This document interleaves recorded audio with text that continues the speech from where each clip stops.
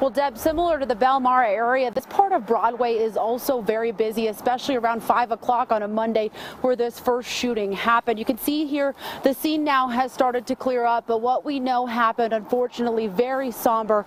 Two women were shot and killed, and one man was injured. At this point, we do not know the extent of his injuries.